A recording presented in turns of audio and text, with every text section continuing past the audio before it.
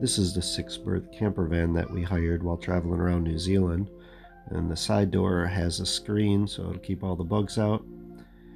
Go up a step and there's four seats there that all have seat belts. You can put a table into the floor where you see those two holes.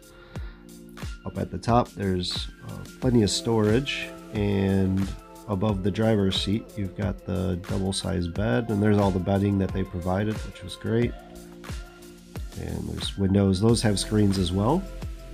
At the passenger side there's quite a lot of storage both in the glove compartment and up above. The center console has a touchscreen radio mapping and even has campermate and on the driver's seat there's controls on the steering wheel and even has cruise control. The orange electric cable you need to have plugged in if you're going to use the microwave toaster or some of the other electrical appliances they provide there's seating with seatbelts for four in this middle area, and you can even have the table up while you're driving, or you can pull the bottom parts of the seat out, and this actually converts into a bed.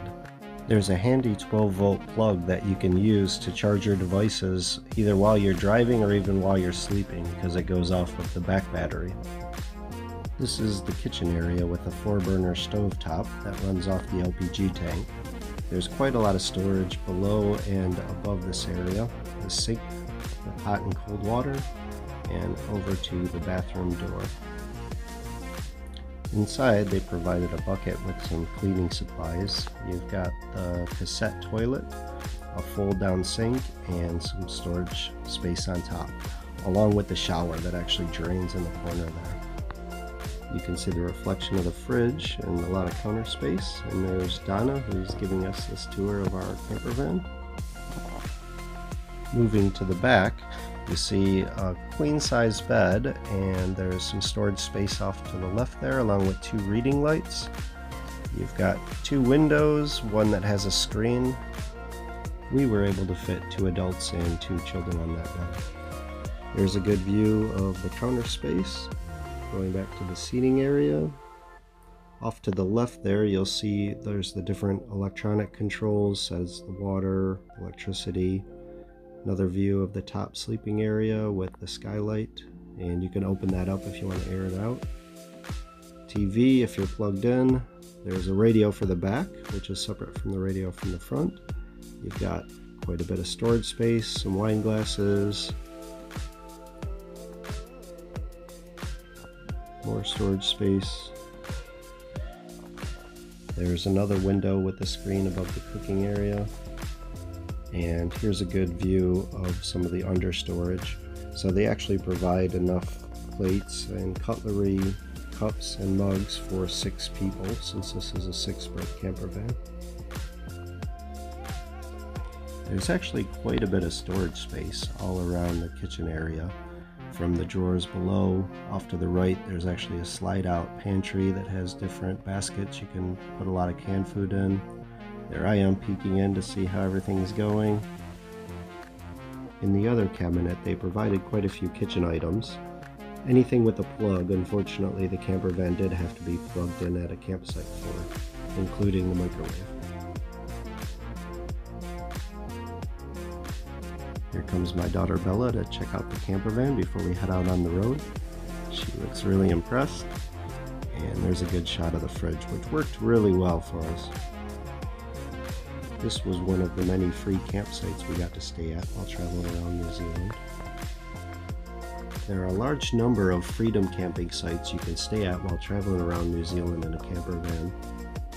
We use both the Rankers and the Campermate apps to find these freedom camping destinations, a lot of which were right on the beach and uh, had some really amazing views. You can go to MattManyPlaces.com to get more information on how we've got some great deals on camper vans like this. Travel information, tips, advice, and experiences are all on our website Here's another one of our freedom camping spots in the Waikato area.